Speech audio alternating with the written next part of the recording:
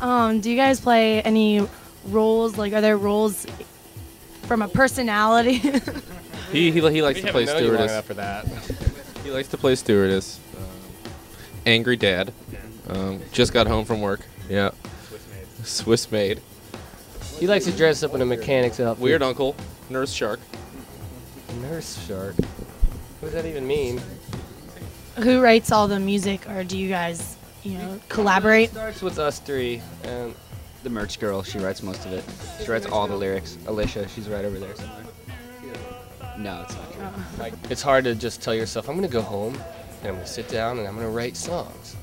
Most of the times it'll just happen and you get the idea real quick and then you have to run and jump out of the shower and then get to your computer and make it at least record the melody, you know, or something like that. And then then you can fill in all the chords and other stuff later. But it's like God put that magical thing right there in my brain. I'm just kidding. It's magic. It's just magic, you know? That's nice. That's a nice way to put that. Okay, we've never been here before, ever. We've been a band for over 10 years and we've never been to Richmond, Virginia. We've been to Norfolk, but is that far? Is it kind of far, kind of close? It's far. All right, I'm going to shut up about Norfolk. Uh, it's awesome to be here on a Saturday night in your city. We get to play for you for an hour at least, and that makes us happy.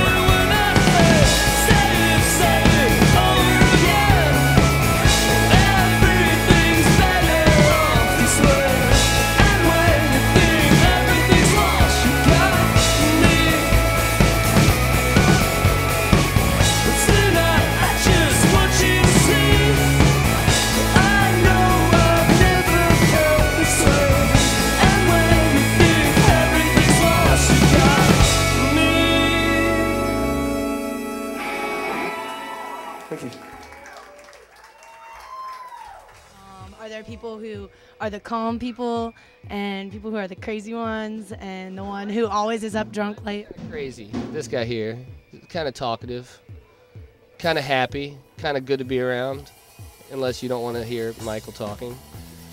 Che, he kind of knows everything, like where you're at. If you know, like, if, if you feel completely lost in the world, just be ask Che, and he'll be like, "Well, since we turned left about 42 miles ago, I think we're probably about 72 miles from Richmond." He's that kind of dude. I, and I fart a lot. I'm kind of not joking. I, I, I It's I think It's- problematic. I wanted to be as honest us about it. I think we approached honesty with everyone. I had to be honest with you guys too. For some reason, I I can't process food at all, so it ends up just turning into air. really quickly.